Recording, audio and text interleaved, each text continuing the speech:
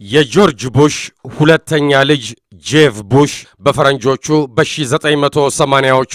ኢትዮጵያውያን አይሁዶችን ከኢትዮጵያ ለማስወጣት የተካሄደውን ኦፕሬሽን ረድቻለሁ የሚል መረጃ መናገራቸው ተዘገበ። ሰውየው በመጪው የአሜሪካ ፕሬዝደንታዊ ምርጫ ለመወዳደር እንቅስቃሴ በማድረግ ላይ መሆናቸው የሚታወቅ ሲሆን ለዚህ የምረጡኝ ቅስቀሳቸው እንዲረዳቸው ነው ኢትዮ አይሁዳውያንን በየጊዜው ወደ እስራኤል ለማጓጓዝ የተካሄደውን ኦፕሬሽን ሙሴ እንዲሳካ የአሜሪካንን አስተዳደር አሳምኛለሁ ማለታቸው የተሰማው በጊዜው በሱዳን የነበሩትን የቤተ እስራኤላውያንን ስደተኞችን ሁኔታ ካየው በኋላ የወቅቱን የአሜሪካ አስተዳደር ከእስራኤል ጋር ባብሮ በኦፕሬሽን ሙሴ እንዲሳተፍና ቤተ እስራኤላውያኑን ወደ እስራኤል እንዲያጓጉዝ አሳምኛለሁ በማለት ነው ፖለቲከኛው ጉዳዩን የምርጫ ዘመቻቸው አጀንዳ ያደረጉት መባሉ ተዘግቧል።